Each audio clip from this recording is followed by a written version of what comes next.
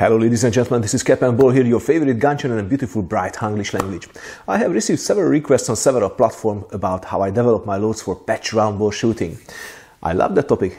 I plan to make this as a part of the next Q&A video, but I decided that I'm going to separate it because it's such a big topic that has many related aspects.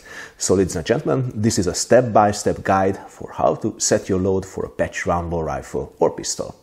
When we start shooting black powder guns, we usually start with a patch round ball, cap and ball rifle or pistol. And this is right like this because they are usually much cheaper than other guns.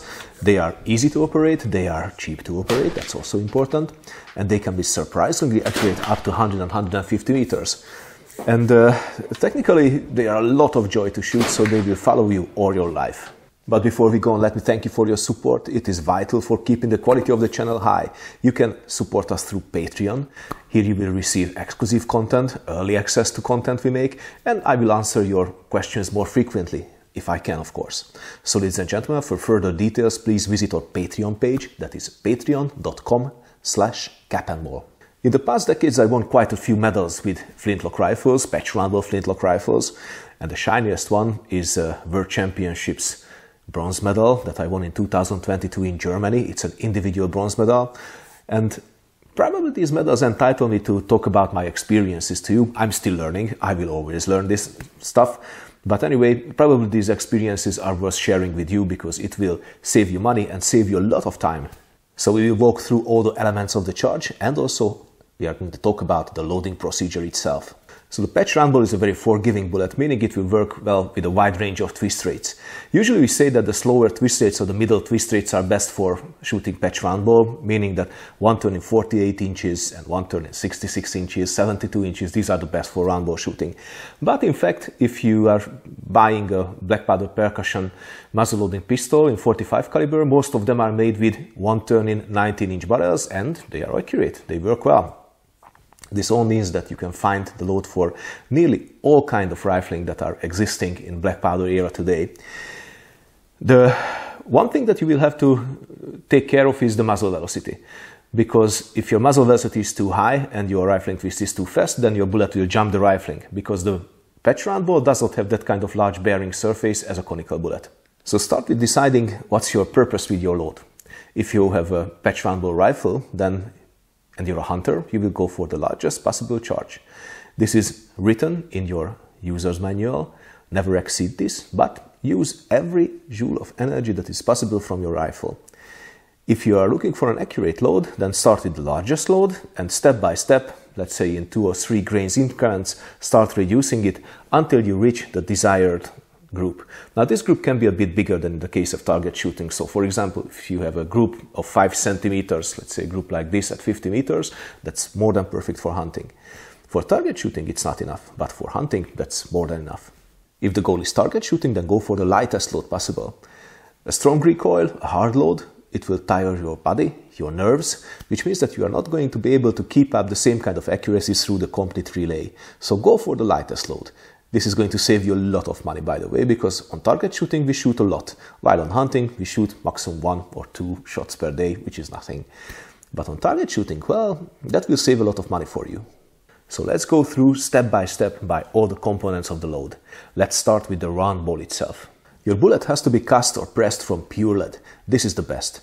A slightly alloyed lead, it can also be used, but if you pull a tight-fitting patch and bullet combo you, from your bore and you check the surface of your round ball, you will see that the imprint of the patch is visible on the surface of the bullet. Now, this is what you're looking for because these imprints just show that you have a very, very tight and strong connection between the patching material and the bullet. The diameter of the bullet is very important. Now, your undersized lead ball has to be 5 to 10 thousandths of an inch smaller then the land-to-land diameter of your bore. So this is actually your bore diameter. Now, it does not really matter if it's a, a 45 caliber rifle or pistol, you're using a 440 or 445 ball because you can compensate it with the patch. This difference will not cause any kind of difference in accuracy. The next element of the charge is the patch itself. It must be made from natural, good quality material. There must not be any kind of plastic in it. To check this, just burn a bit and you will see the difference immediately. When you burn a linen patch, it will burn clear and convert to dust like ashes. If it becomes sticky and burns with black thick smoke, it is plastic. Avoid it. But this one is right. The material of the patch should be strong and as thick as possible. Don't use anything that you find at home because probably those clothes were washed a million times and they will tear easily. So go to your local store and choose a material that fits your needs. First, it will look strange when you are walking into the store and checking all the material with calipers, but uh, even if they will think that you're completely stupid, they will get used to it, believe me. They do in my local store as well. Let's talk about the thickness of the material. You need as thick material as possible because it will grab your bullet firmly, so you're going to have an accurate load, and second, it will seal the gases because it is going to fill the grooves of the rifling. It is quite easy to determine the starting thickness for a patching material. You have to start with slugging your bore, which means that you will have to hammer, gently hammer, halfway, a slightly oversized lead slug into your muzzle. Pull it out and measure the largest caliber that you can measure on it. This is going to be your groove-to-groove diameter. Now, from this groove-to-groove -groove diameter, deduct the exact diameter of your bullet. So, for example, for a 45 caliber percussion muzzle-loading rifle. Usually the groove diameter is around 460. So here is an example. The mathematics are simple. Deduct 0.445 from 0.46 and you arrive to 0.015. Now divide this by 2 and you arrive to your patch thickness. This is your starting point. According to my experience, this is a good starting patch. So, if, for example, if you're a hunter, this will give you an easy loading. But if you are looking for extreme accuracy, like we are looking for when we are going to World Championships or European Championships, we usually go above this. So, add 20% more, and then you will arrive to the desired target shooting patch. The next question is how to determine if your patch is working properly or not. Well, first, if your rifle is accurate, then you're doing it right. If you can shoot that rifle whole day without extensive cleaning of the bore, then you're doing it right. Keep doing that. If there's a problem, then collect your patches in front of the shooting stand and start reading them. If there is a bullet size hole in the center of the patch, then you shot through your patch. This means that the material is very bad. You have to change it. You have to change it for sure. If there are just little holes all around the bullet where it touched the patch, then the rifling just cut your patches, which means that your patch is too thick or your bullet is too large diameter. But usually it's much easier to change the patch thickness than the diameter of the ball. So in this case, just step down one level with the thickness of the patch. When everything is working as it has to, then you will see a patch that is not torn, that is not punctured, the sides can be a bit torn, but we don't care about it because that's not the part where we are sealing the gases. But you will see the imprint of the rifling on the patch, on brown, and you will see the imprint of the bullet also the, in the patch. If you see a complete circle, that means a complete seal, and that's what we are looking for. Let's talk about the powder charge. Did I tell you that patch roundball rifles and pistols are very forgiving, meaning that they don't care about the quality, the grain size of the powder, they will actually work with anything. You can buy the cheapest powder and I'm pretty sure that you're going to find a decent accuracy with those powders as well. Because the loop patch is cleaning your bore after each shot, so we don't care if the powder is dirty. If you're a target shooter, it is a good question, what should be your starting load? There are formulas on the internet that you can use, but I really have to say that they don't work in 100%. Uh, but there is actually a very simple formula that I use usually when I'm starting with a new rifle or new pistol that actually drops the numbers that are very close to the most accurate load of that rifle. It takes into, the, into account the twist rate of the bore as well, which is very important because the slower your twist rate is, the faster your bullet has to be for good stabilization. So this formula is the following. Let's make an example. I have a 45 caliber Kentucky pistol with a twist rate of 1 turn in 19 inches, which means I'm going to multiply 0.45 by 19 and again by 2 and we are going to arrive to 17.1 grains of powder. And ladies and gentlemen, this 17.1 grains of powder is very close to the one that from Swiss 3F powder will work well in this Kentucky pistol. So you can easily start with this charge and start reducing it with one grain or two grains increments or decrements and soon you will arrive to the desired accuracy. When you are shooting for accuracy and you are developing your load and trying your loads, then always shoot from the rest because you want to minimize the human error. Always shoot at least five shots, deduct one, and measure the four best shots. This one is deducted because of the human errors. So this four will give you the group. For 25 meter shooting with a pistol, go for at least 3-4 centimeter groups. So which means that one or one and a half inch of a group will, work well if you're a target shooter. For rifle, this is the same, but for 50 meters. So for pistols, always try the pistol at 25 meters or 25 yards, and with rifles, always to 50 meters, or if it's a prone discipline, then go for 100 meters immediately. Let's talk about the lubrication. Lubrication is necessary. If you don't lube your patches, then you are not going to be able to charge the fourth, fifth shots into your bore. It will stuck somewhere in the middle. And if it's stuck, then don't fire it. It's very important. If you cannot push that firmly down on the top of the powder column, then don't fire it because you can harm your gun, you can damage your gun, and in extreme circumstances, you can damage yourself as well, injure yourself or the shooter besides you. The lubrication also helps the patch to seal the gases better because it is not just the patch that seals the gases but also the lube itself. What kind of lubes you can use? Pure tallow is the simplest.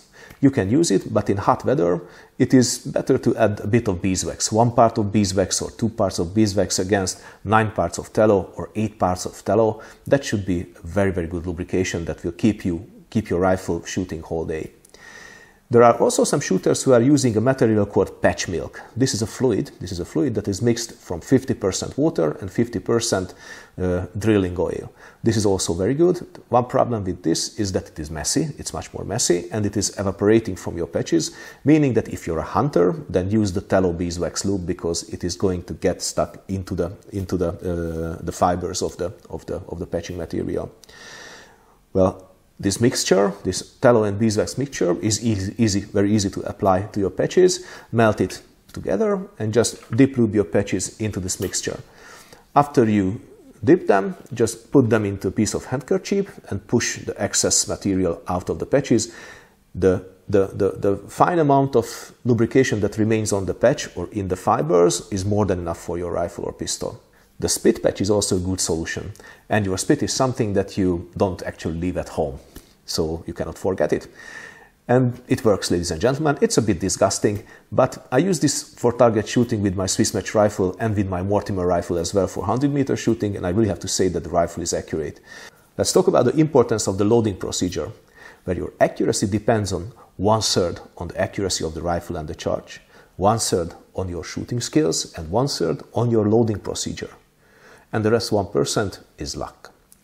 Well, your loading procedure is very, very important because from shot by shot, you have to do everything exactly the same. So first of all, I weigh all my bullets and keep only those that are within plus minus one grains of a weight deviation.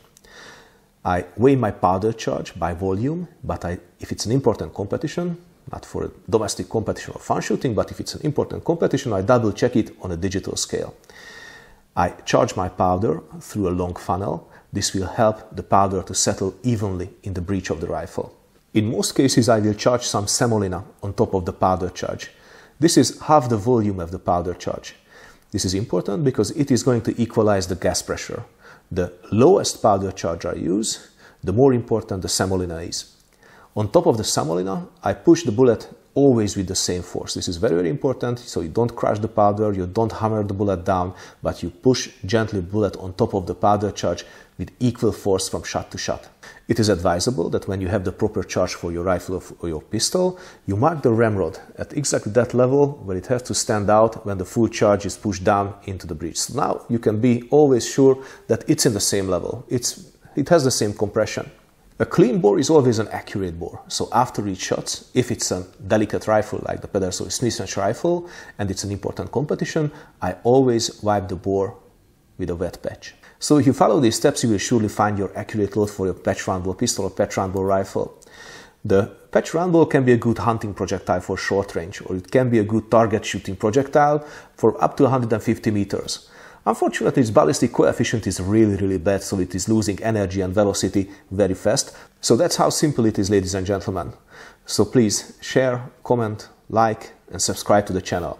If you have a question, then please ask it in the pinned comment. Please visit our Patreon page, patreon.com slash capandball, and if you can, and if you wish, please support us. Until next time, stay cool and keep your powder dry.